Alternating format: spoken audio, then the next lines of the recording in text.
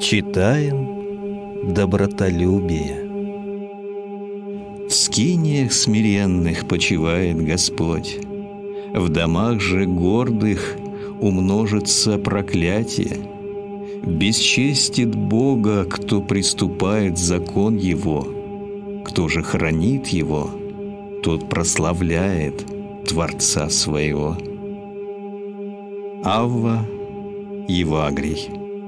Боже.